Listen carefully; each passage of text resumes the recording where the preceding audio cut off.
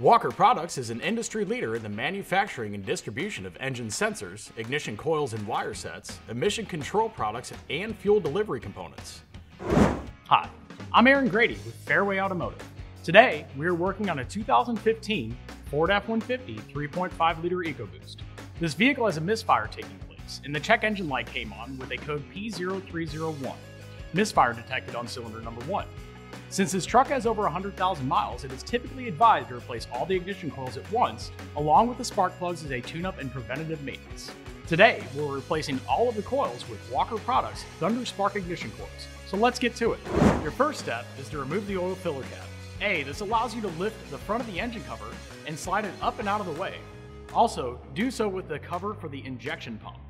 You should then put the cap back on so no particles fall into the engine oil.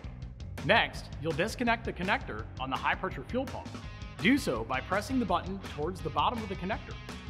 This will allow you to better access the cylinder number 6 ignition coil. Then you'll disconnect the wire tie that holds the vacuum lines.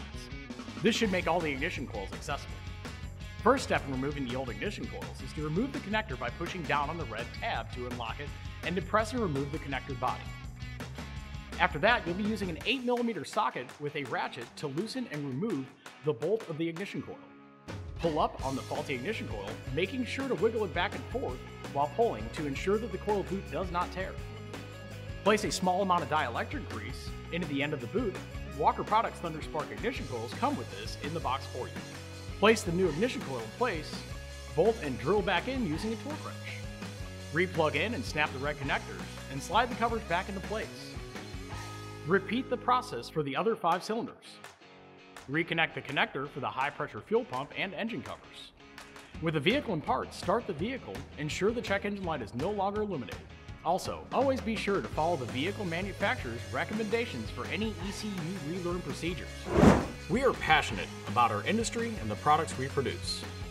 Through our new technologies, modern engineering processes, automated manufacturing, and quality controls, we are committed to provide the highest quality products, the greatest market coverage, and industry leading support to help you grow your business.